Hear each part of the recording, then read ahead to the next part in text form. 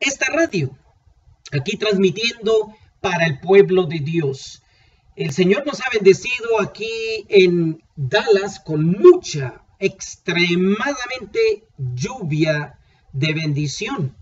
Solamente que cuando uno no hace los preparativos correctos, sucede de que la lluvia en vez de bendecir destruye. Espero que esa no sea la situación suya y espiritualmente, así como la lluvia trabaja en la naturaleza, así también ha de trabajar en nuestra vida. Gracias por sintonizarnos.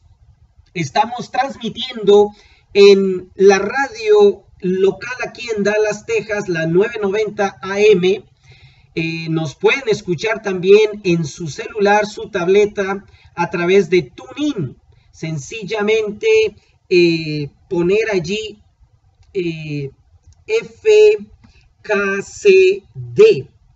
y usted podrá escucharnos o sencillamente ponga la 990 AM. Aquellos que quisieran escuchar nuestra radio 24 horas, pues es sencillo, sencillamente vaya a nuestra página laverdadprofética.com, allí va a encontrar un icono, un logo de eh, la radio, nuestra radio, Radio La Verdad Profética, y podrá escucharnos 24 horas, 7 días de la semana y seguir disfrutando de estos temas oportunos. Queridos hermanos, mi nombre es Miguel Martín. Si usted por primera vez nos está escuchando, bienvenido a su programa de la verdad profética, donde estudiamos profecías, estudiamos temas de salud, estudiamos temas de crecimiento espiritual y también de liderazgo. En el momento hemos estado analizando profecías, profecías eh, profundas y hermosas también porque nos inspiran a conocer el futuro del lado de Dios. Por último, quisiera agradecer a todos nuestros hermanos, hermanos que se han comunicado de Nueva York, de Florida, de México, de Colombia, de Venezuela, de Europa. Eh, claro que sí, aquí en Texas también, en Houston, en Dallas, en Austin, en El Paso, en San Antonio. Gracias a aquellos que nos han estado escuchando a través vía internet y a todos los que se han comunicado, les agradecemos eh, sus llamadas, sus consejos, sus oraciones, sus preguntas y aquí seguimos. Aquellos que quieran contactarnos pueden hacerlo al 214 205 5904 214 205 5904. Allí pueden llamarnos o textearnos o agregarnos a ese medio social de WhatsApp y también puede agregarnos en Facebook o en Twitter simplemente escribiendo la verdad profética. Con esto en mente, vamos a entrar a nuestro estudio de hoy. Hoy tenemos un estudio interesante, interesante exquisito, informativo y vamos a ver un poquito de historia que va a despertar a muchas conciencias. Y si usted no está listo para profundizar las escrituras, pues haga con nosotros la siguiente oración. Oremos. Querido Dios, te bendecimos, te agradecemos por esta hora, Señor. Queremos invocar tu presencia. Tú has dicho que de ti viene el conocimiento. Solo tú puedes darnos tu espíritu para comprender, para entender, para estudiar y sobre todo para practicar lo que nos das a entender. Quiero implorarte que bendigas a cada uno de los oyentes, sea un hermano de edad avanzada, un niño, un adulto, un joven, un ministro, un anciano, un miembro, alguien, Señor, que hoy nos esté sintonizando. Imploro que toques corazones, que llegues al alma. Tú puedes, tú eres nuestro Dios. Bendícenos en el nombre de Cristo Jesús. Amén. El tema de hoy se titula Ya llegó el otro ángel. En estos días hemos estado analizando que Dios no solamente tiene la verdad de la gracia, el evangelio, las buenas nuevas, la fe, el amor, la nobleza, la dulzura, su belleza, sino que también tiene mensajes duros, fuertes, tremendos, como el mensaje del primer ángel, del segundo, del tercero. Pero lo último que consideramos y analizamos es que no solamente tiene tres ángeles, hay otro, el otro ángel, el ángel de Apocalipsis 18.1. Si usted por primera vez nos está escuchando, por favor vaya a la laverdadprofética.com y allí va a encontrar los estudios anteriores. El tema de hoy se titula Ya llegó el otro ángel. El libro de Apocalipsis, vamos a la Biblia, Apocalipsis capítulo 18, versículo 1. Después de estas cosas vi otro ángel descender del cielo que tenía grande potencia y la tierra fue alumbrada con su gloria. Esta es una profecía para el tiempo del fin. Y el mandato de Dios en Apocalipsis capítulo 1, versículo 3 dice, bienaventurado o sea, siete veces feliz, gozoso, dichoso, el que lee, el que lee qué? Los que oyen, los que oyen qué? Las palabras de esta profecía. Mucha gente ignora esta bendición. Mucha gente no entiende que hay una bendición siete veces triplificada para el que lee, estudia, guarda y practica las palabras de la profecía, especialmente de Apocalipsis. El versículo sigue diciendo, y guardan las cosas en ella escritas Mucha gente le tiene miedo a la profecía. ¿Por qué? Porque solamente ven lo negativo, ven lo que le va a ocurrir a los impíos, a los pecadores, a los que no cambian de vida, aquellos que no dejan que Cristo haga algo por ellos. Claro, les da miedo. El otro día estaba con mi hija y entró la noche y dijo, papi, tengo miedo. Me senté con ella y le dije, ¿por qué tienes miedo? Papi, y con su manito me mostraba que, estaba oscuro. Y le expliqué. Le digo, Génesis, el miedo no es para nosotros. La noche es parte de la vida, es parte del sistema de Dios. Miedo cuando uno está haciendo cosas malas. Miedo cuando uno no tiene a Dios. Jenny, así le digo a mi hija Génesis, ¿quién está aquí? Me, contestó, Dios, Dios, Dios. O sea, Dios. Y entonces le dije, mamá, no hay que tener miedo. Si aquí está Dios y aquí están los ángeles y aquí está papi. Y seguimos caminando, jugando, porque estábamos en el parque. Usted como cristiano solo puede tener miedo. Usted como humano solo puede tener miedo a las profecías si está en pecado, si no tiene a Cristo, si no ha aceptado su protección, su gracia, su espíritu.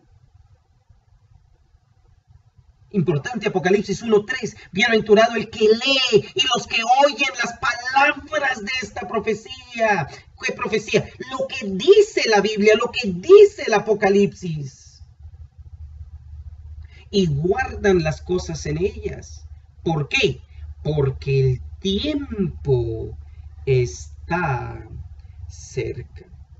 Hermanos, vivimos en tiempos eh, terribles, críticos, cruciales, importantes, grandes. No vivimos en cualquier tiempo y hay que conocer la profecía. Hay que conocer a Cristo en la profecía. ¿Por qué?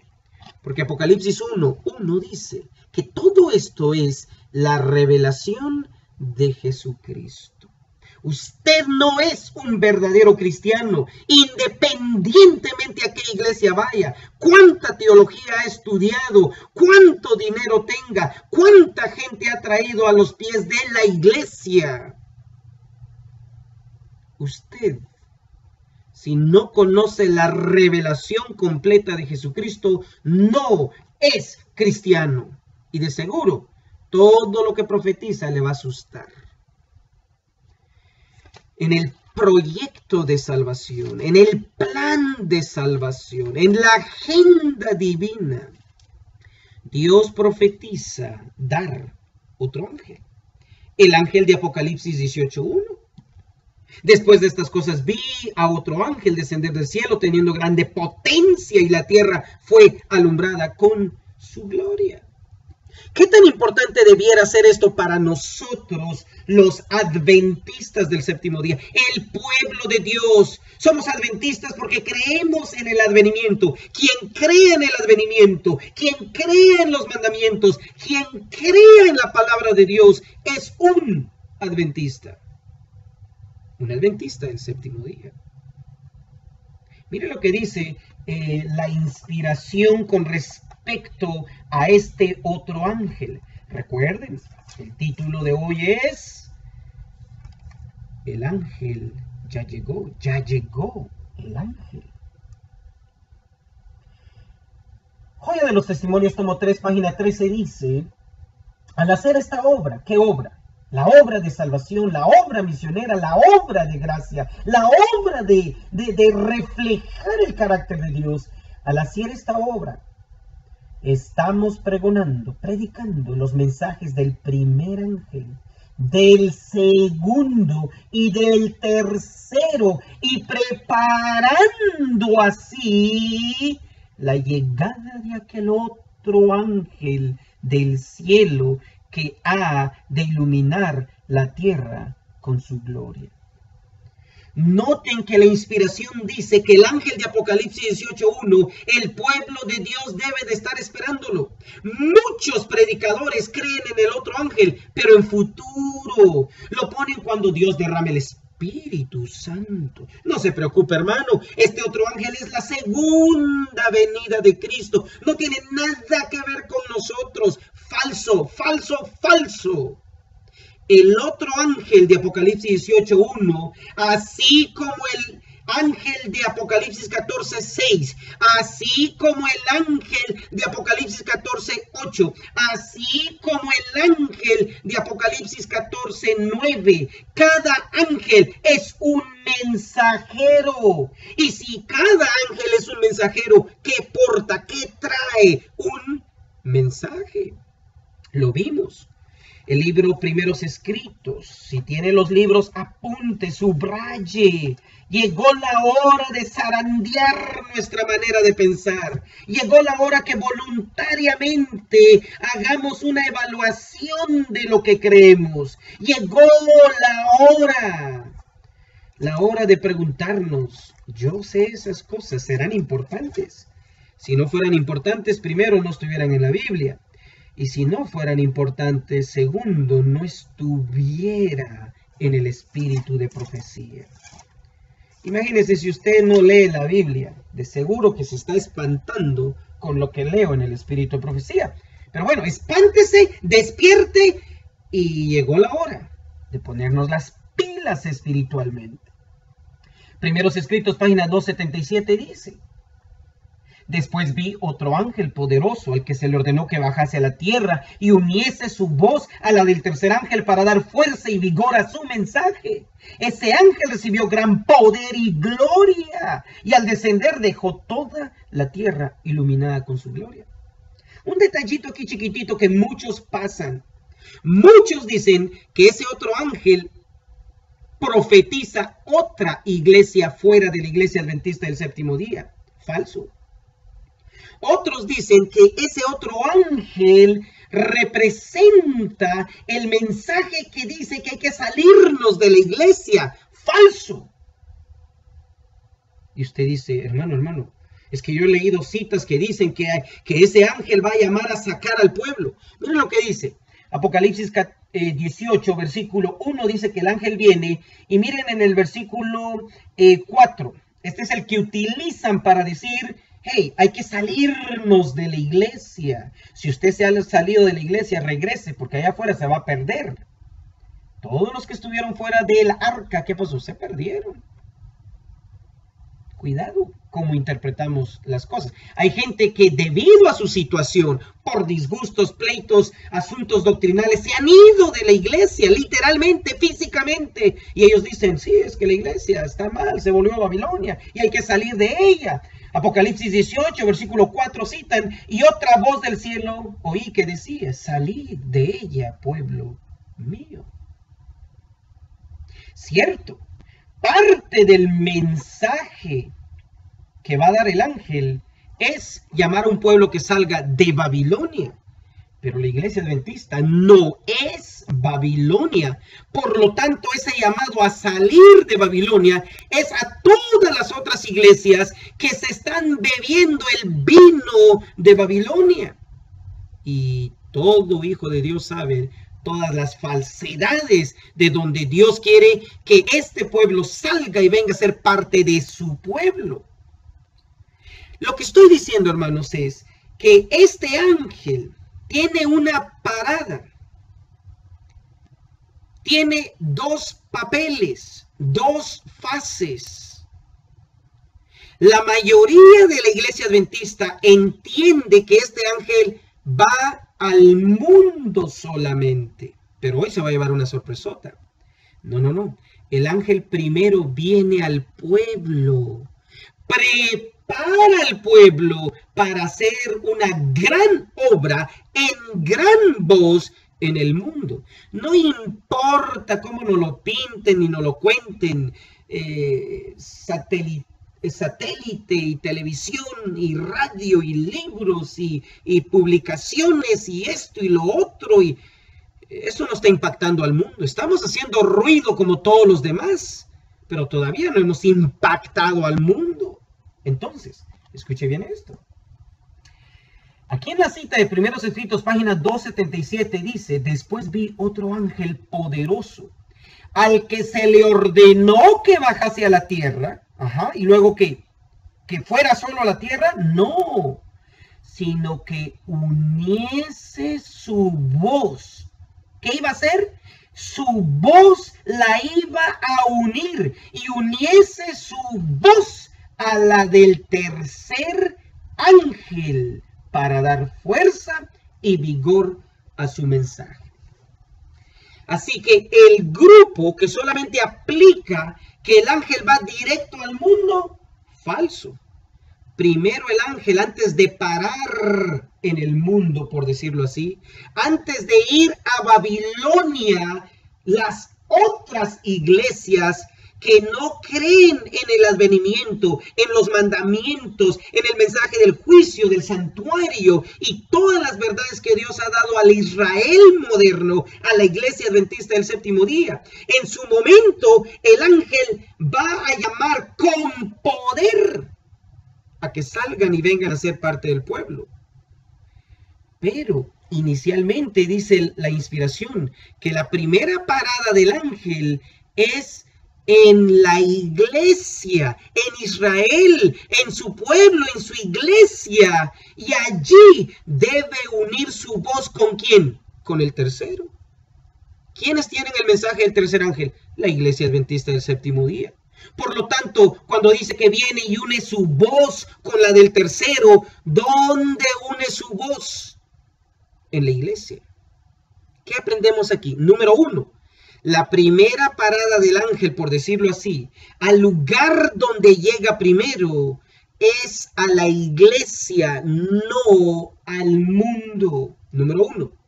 Número dos, noten que no es la iglesia, noten que no es el tercer ángel, noten con cuidado, de acuerdo a primeros escritos 2.77, no es la iglesia, no es el tercer ángel quien va en busca del otro ángel, del cuarto ángel, del ángel de Apocalipsis 18.1.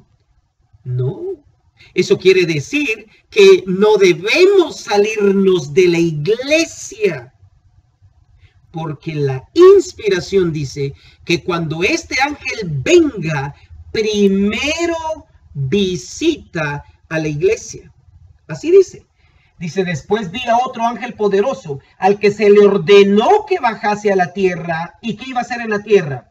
Y uniese su voz a la del tercer ángel para dar fuerza y vigor a su mensaje. Y todo adventista del séptimo día sabe que es la iglesia adventista del séptimo día quien desde 1844 ha estado proclamando el mensaje del tercer ángel. Así que, ¿quiénes tienen el mensaje del tercer ángel? La iglesia adventista. Por lo tanto, ¿a dónde llega primero el ángel? A la iglesia.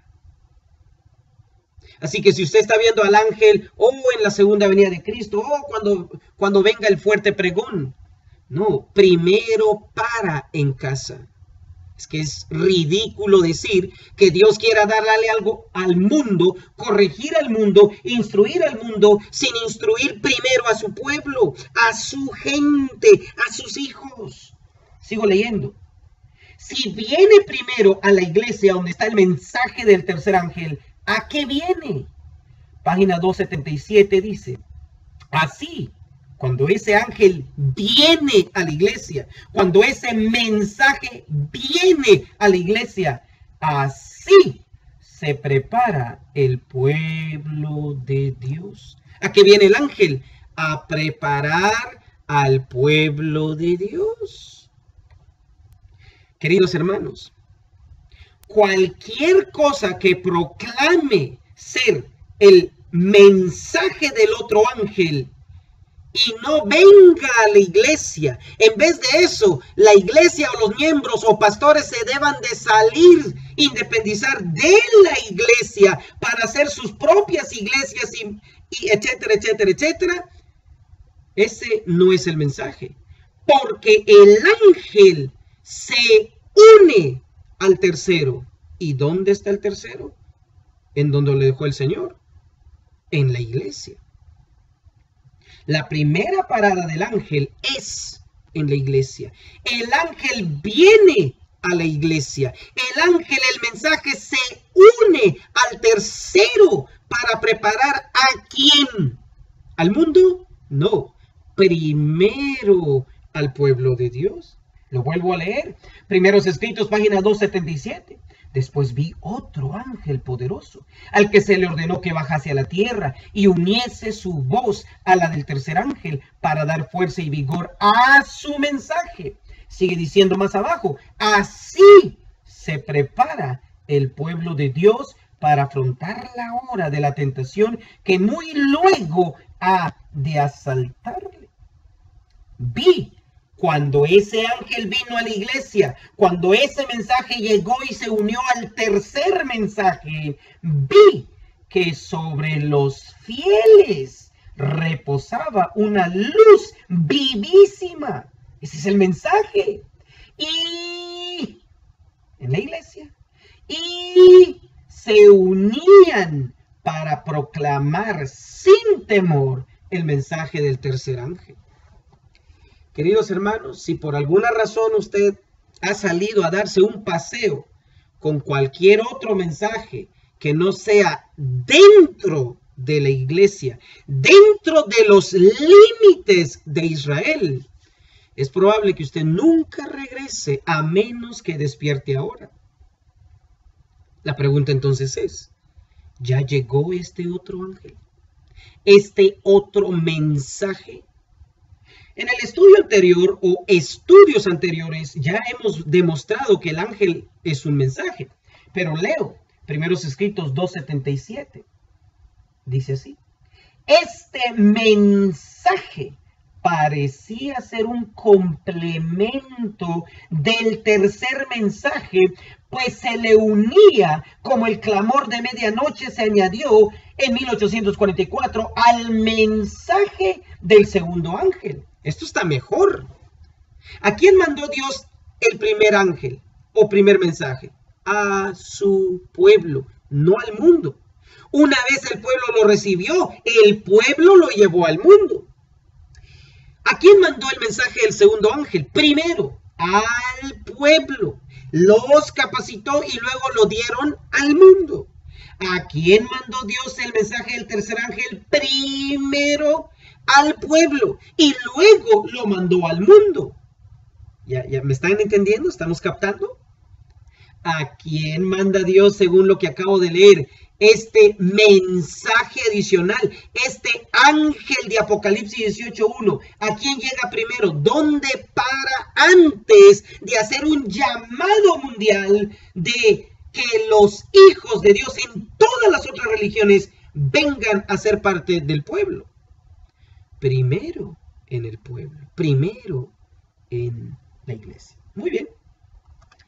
Dicho esto, hermanos, ¿Qué dice la palabra de Dios? ¿Ya ha venido este ángel? Voy a leerles una profecía profunda, profunda. Apunten, apunten. Dice la palabra de Dios en el libro de Isaías. Isaías capítulo 59, versículos. Voy a leer el versículo 1, 2 y luego Vamos a leer eh, el versículo 14 y 15. Mire que dice aquí la palabra de Dios. Profecía. He aquí que no se ha cortado la mano de Jehová para salvar. O sea, Dios quiere seguir salvando. Ni hace agravado su oído para oír. Es, interesante, queridos hermanos. Nosotros que tenemos la verdad no llenamos estadios y otros llenan estadios. ¿Por qué? ¿Por qué nosotros teniendo la verdad a veces no podemos levantar un enfermo? ¿Por qué? Nosotros que tenemos la verdad hablamos y hablamos y no impactamos. ¿Por qué? Ah, mire que dice la palabra profética.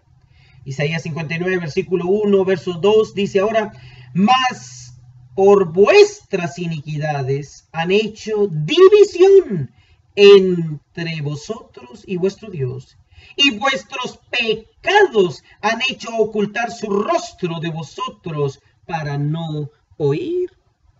Así que la multiplicidad y multiplicación de nuestros pecados, Dios no está oyendo oraciones y Dios ve una división entre nosotros y él.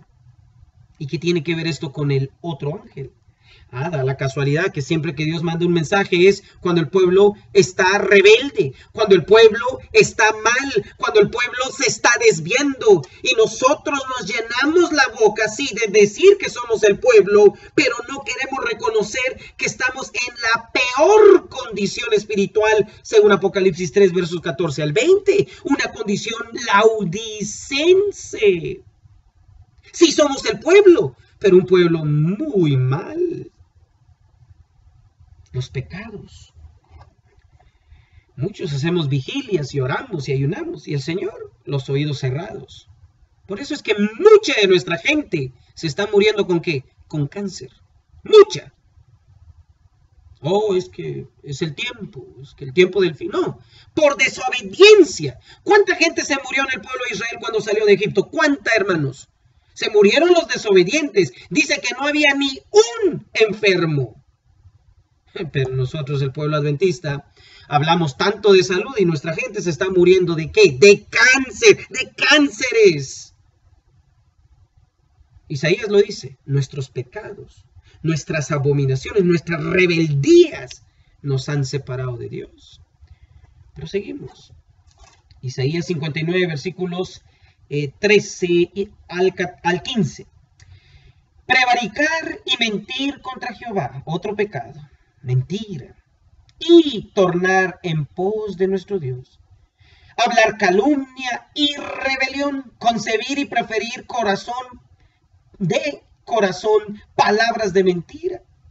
Debido a esto, y el derecho se retiró, y la justicia se puso donde? Lejos, porque la verdad tropezó en la plaza. ¿Qué pasó? Cuando la verdad del cielo en Cristo vino, ¿dónde tropezó? En su propio pueblo, no en el mundo. Los registros sagrados dicen que los que rechazaron al Hijo de Dios, la verdad salvífica de ese entonces, la verdad presente de ese entonces, no fue el mundo, fue el pueblo. ¿Quiénes rechazaron la verdad presente de Isaías? El pueblo de Judá. ¿Quiénes rechazaron la verdad presente en los días de Juan el Bautista? El pueblo. ¿Dónde creen ustedes, hermanos, que esta profecía se ha vuelto a cumplir? Isaías 59, versículo 14. Y el derecho se retiró y la justicia se puso ¿dónde? Lejos. Ay, eso no se aplica a nosotros. Ay, usted, está, usted es muy fanático. Usted es un legalista, un fariseo. Mira, hermano, hable del amor de Jesús. 24 horas con el Señor de la mano. Claro, usted quiere tener a Jesús de la mano y a tres mujeres al lado. O tener a Jesús de la mano jugando PlayStation. O a Jesús al lado y haciendo otras cosas que solo usted sabe. Eso no es tener a Jesús. Lo tenemos lejos. Nos pasa lo de Pedro. Pedro, ¿cómo seguía Jesús? De lejos. Tenía miedo. En ese momento estaba mostrando hipocresía. Oh Señor, todos te pueden negar. Yo no. Yo tengo años en iglesia. O yo, yo, yo tengo familia de pastores. Yo, yo vengo de una línea especial. Nosotros somos los adventistas del séptimo día.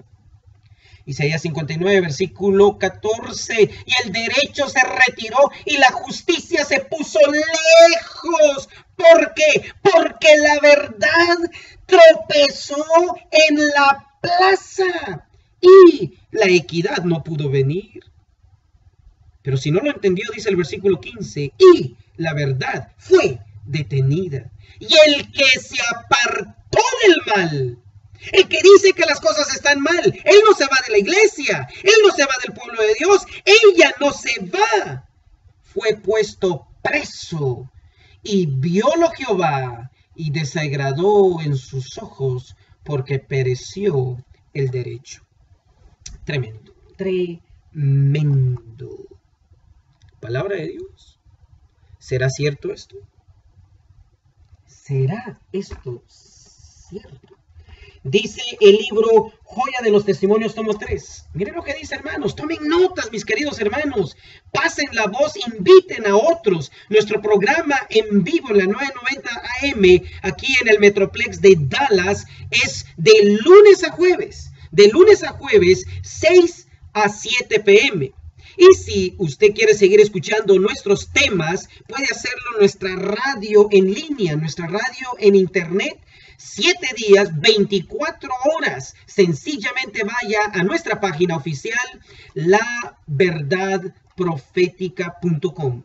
Y allí va a poder sintonizar nuestra radio cuando guste y cuando quiera. Pero pase la voz, hay que alzar la voz, el tiempo de gracia se está terminando y la mayoría está tranquilo, no se preocupe, todo está bien. Yo soy parte del pueblo de Dios, pero no me moleste. Pues lamento decirle que Miguel Martín ha llegado para molestar, para inquietar, para invitarnos a reconsiderar nuestra condición. Joya de los Testimonios, tomo 3. Vamos a ir a la página 328. Vamos a ver qué dice aquí la inspiración. ¿Listos? ¡Wow! Interesante. Interesante. Dice así. Estoy leyendo en la, voy a leer en la 328, pero comienzo en la 327. Joder, los testimonios somos 3, página 327 y 328. Dice así la inspiración. Las escrituras. ¿Las qué? Las escrituras. No el hermano, no la hermana, el conferenciante, el evangelista. Oh, es que usted debe oírlo. No, no, no. Las escrituras describen las condiciones en que se encontrará el mundo en vísperas de la segunda venida del Señor. El apóstol Santiago traza un cuadro de la codicia y la opresión que entonces dominarán. Profecía. Dice, ya oh, ahora, oh ricos, os habéis llegado tesoros para los postreros días. He aquí el jornal de los obreros que han cegado vuestras tierras y el cual por engaño no les ha sido pagado de vosotros. Clama y los clamores de los que habían cegado han entrado en los oídos del Señor de los ejércitos. Habéis vivido en deleite sobre la tierra y sido disolutos habéis cebado vuestros corazones como en el día de sacrificios. Habéis condenado y muerto a quién? Al justo. Lo mismo que dijo Isaías, lo dice Santiago 5, del 1 al 6. Habéis condenado y muerto al justo, y él no os resiste. Ojo y oído. Tal es el cuadro del estado actual de las cosas. Y antes de que lea lo que voy a leer, dice la misma iglesia. ¿De quién está hablando ahora? Ah, la iglesia. Ok, voy a leer ahora. Tal es el cuadro del estado actual de cosas y el derecho se retiró y la justicia se puso lejos porque la verdad tropezó en la plaza y la equidad no pudo venir y la verdad fue detenida y el que se apartó del mal fue puesto en la cárcel y viólo Jehová y desagradó en sus ojos porque pereció el derecho. Isaías 59, 14 la iglesia misma, que debería ser columna y sostén de la verdad, fomenta el amor egoísta a los placeres. Ajá. Así que lo que está diciendo el hermano Miguel Martín es cosa seria. Lo que la inspiración está diciendo es que Isaías 59 se aplica a nuestro tiempo y específicamente a nuestra iglesia. Porque no hay prosperidad espiritual. Estamos creciendo en números, pero no espiritualmente. Estamos creciendo en dinero, pero no espiritualmente. Estamos creciendo en universidades, eh, proyectos grandes, mundanales. Sí, el mundo dice, wow, los adventistas. Pero Dios dice, yo no los estoy escuchando porque ustedes se han revelado, ustedes viven en pecado, se están apartando de los caminos correctos. La iglesia misma ha vivido Isaías 59, 14 y 15. Ha echado afuera la verdad. A los que predican estas cosas no los quieren ni cerca, pero alabado sea el Señor. Miguel Martín, aunque lo saquen por la ventana, ahí va a estar. Aquí voy a estar. Vamos a seguir hacia adelante. Y si usted es uno de esos fieles que está alzando la voz, que cree en esto, no se desanime, no se vaya de la iglesia, no se aleje, aunque está profetizado que Israel, la iglesia, el pueblo, va a cumplir perfecta y exactamente Isaías 59, 14, versos 14 y 15. Mira esta, hay más citas, pero voy a darle una más porque el tiempo ha volado. Si quiere comunicarse con nosotros, puede hacerlo al 214 205 5904 214 205 5904. Puede llamarnos, puede escribirnos, coméntenos. Y si usted no ve que esto es así, dígame cómo es. Porque si hay que aprender, vamos a aprender. También nosotros aprendemos y desaprendemos. Pero no se engañe, si Dios dice que las cosas están mal, las cosas están mal. Mire lo que dice, hermanos. Estoy en testimonios para los ministros. Usted lo puede leer en su tiempo libre, todo el capítulo. Capítulo 14, página 347. Dice, exhortaciones a la verdad y la lealtad. ¿Ok? Y voy a leer en la 356 un engaño fatal. Hay un engaño terrible y fatal en que puede caer la mente humana. Debido a que los hombres están en puestos de confianza. Está hablando de la iglesia. Testimonios para Ministros 356. Estoy leyendo del libro eh, antiguo.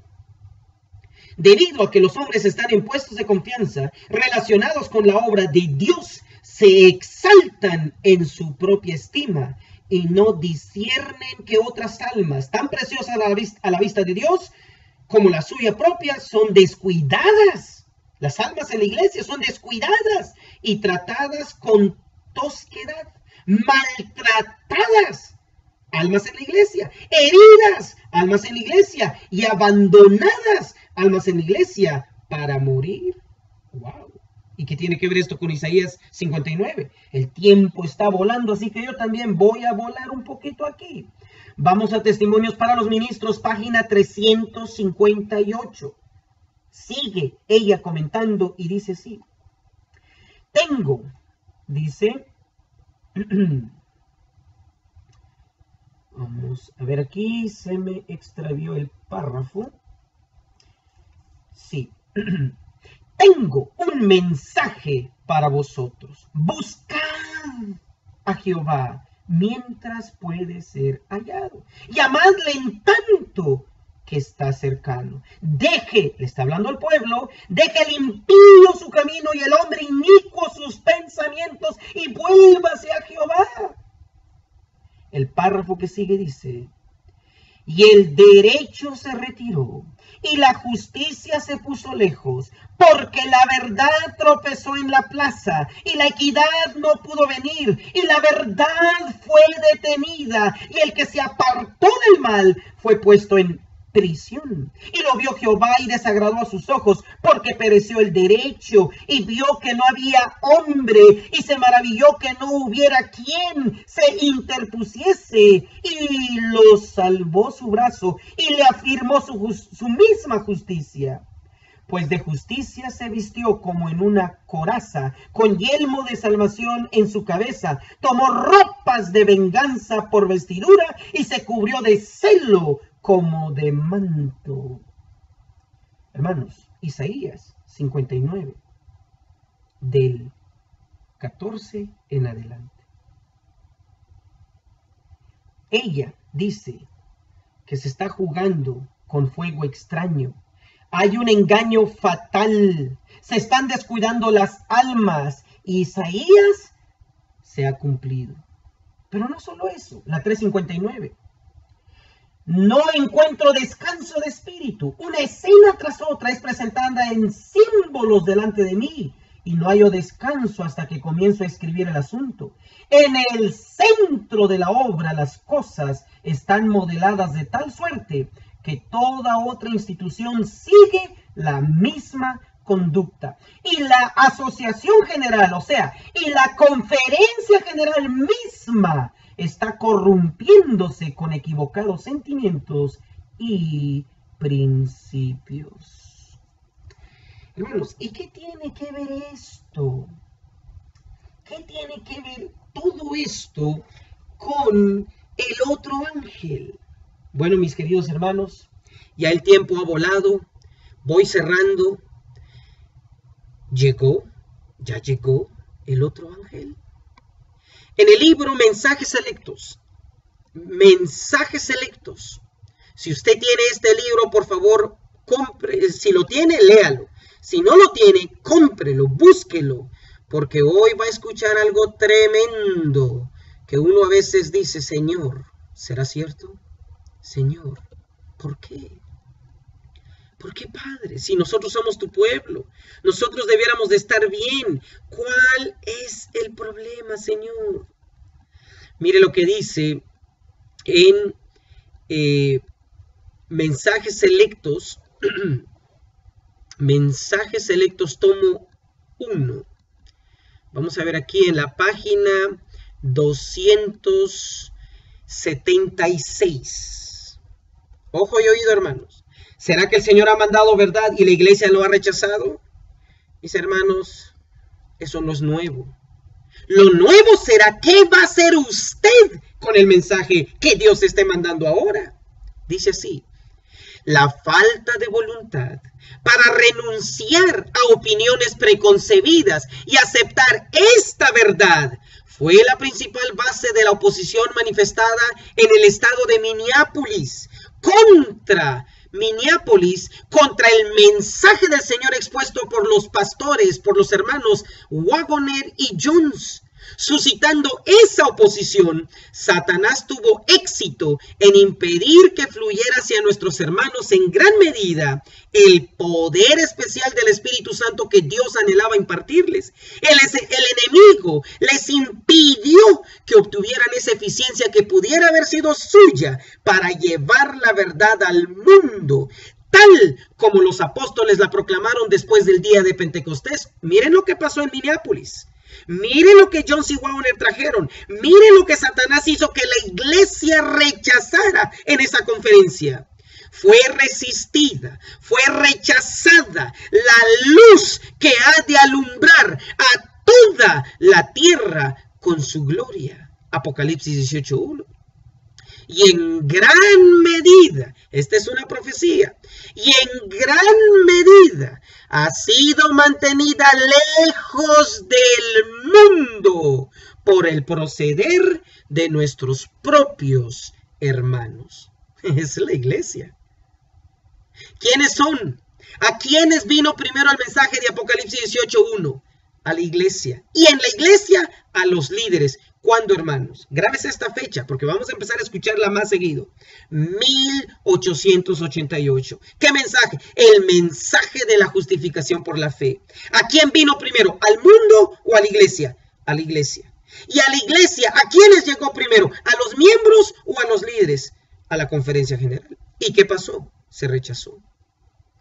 Rechazamos la oportunidad de habernos preparado como Noé para dar el mensaje en su tiempo, como eh, Jeremías para dar el mensaje en su tiempo, como Juan el Bautista para dar el mensaje en su tiempo, como los apóstoles después de que se prepararon. Dios quiso en 1888 derramar su espíritu y llevar a la iglesia a tener una experiencia como los apóstoles, pero fue rechazada, fue resistida. La luz que ha de alumbrar a toda la tierra con su gloria. Apocalipsis 18.1. Y queridos hermanos, el tiempo se me está terminando, hombre.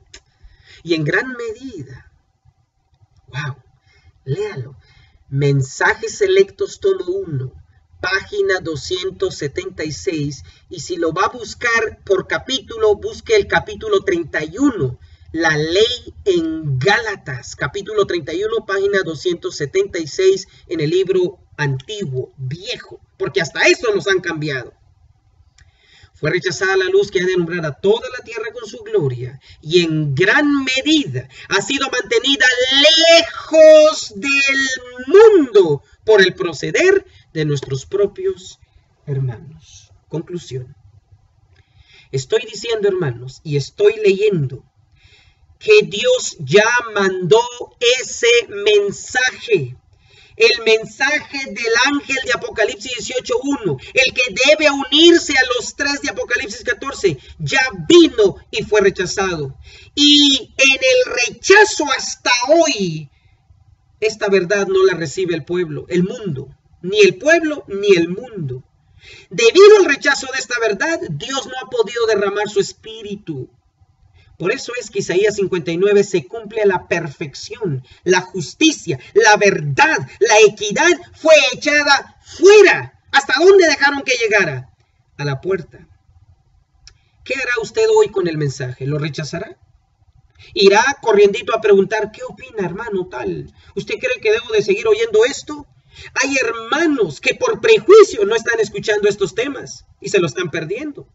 Pero usted no deje que el prejuicio le gane. Vaya a la Biblia, vaya al espíritu de profecía y confirme que como pueblo nos hemos atrasado, no porque Dios quiera. No hemos podido impactar al mundo, no porque Dios no quiera, sino porque como los judíos hemos rechazado la verdad presente para este entonces. Hermanos, me quedan tres minutos Y quiero decirle, nosotros condenamos a muchos porque no aceptan el sábado.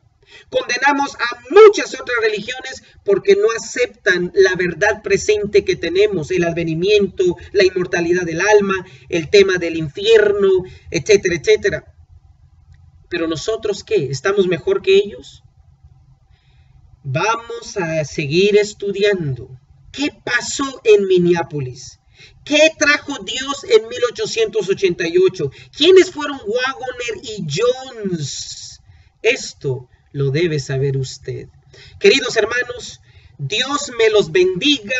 No cumplamos Isaías 59. Pongámonos de parte de la verdad, de parte del mensaje. Ya llegó el ángel, pero fue que rechazado. Échale pluma. Vino en 1888 y estamos en el 2015. ¿Cuántas décadas llevamos rechazando el mensaje? Porque si alguien dice que lo hemos recibido, ¿Dónde están los resultados? ¿Dónde está la presencia de Dios? ¿Dónde está el poder del Espíritu Santo que Él quiso dar como en los días apostólicos?